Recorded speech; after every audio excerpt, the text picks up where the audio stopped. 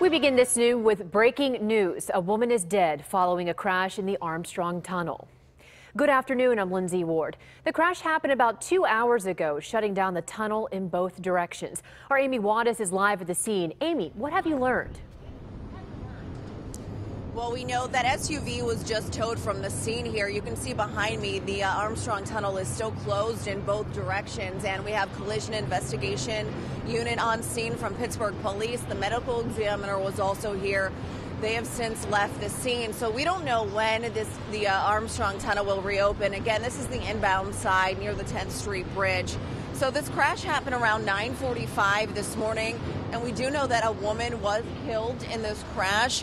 When crews responded to the scene, they found the SUV smashed into the wall of the inbound side, and this was the only vehicle involved in this crash. No one else was inside of the SUV at the time. Now, firefighters tried to revive the woman, but she was pronounced dead on scene.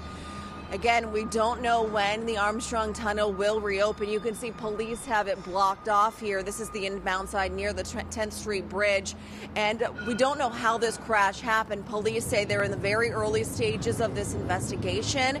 And once we learn more, we will let you know. Reporting live outside of the Armstrong Tunnel, Amy Wadas, KDKA News.